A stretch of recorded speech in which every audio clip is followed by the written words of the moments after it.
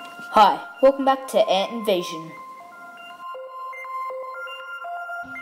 Every ant starts off as an egg, then goes to a larvae, and then a pupae.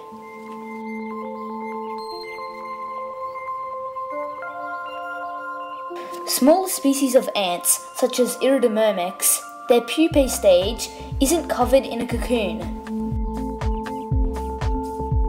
Instead, it kind of just looks like a white version of the ant.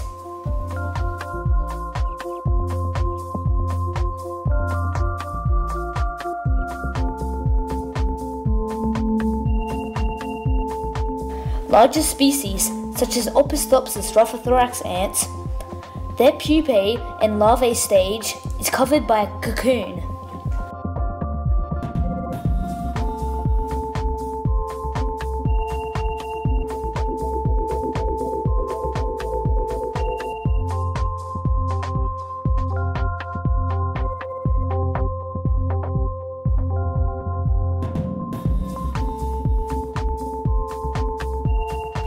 The cocoon is very noticeable on this queen's larvae.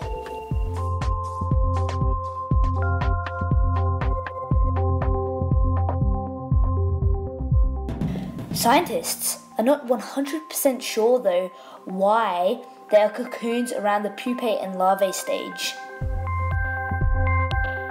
I thought about this for quite some time and came up with an idea that the reason why they are covered in cocoons is because it is easier to transport rather than the ants carrying around wriggling little larvae. My other idea was that it protects the pupae stage.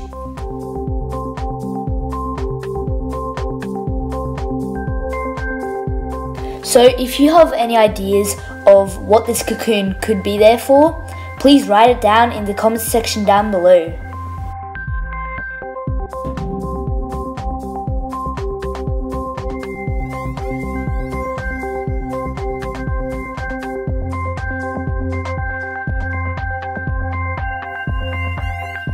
Once again, I have caught a queen, but I will not be revealing her until I have hit 100 subscribers.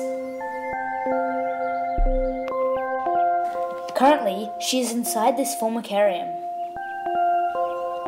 But I've blocked it off with paper so you cannot see it. It's just, just another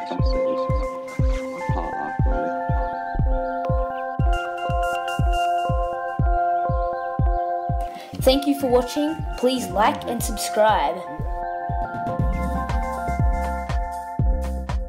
And remember to write down below what you think my queen could be.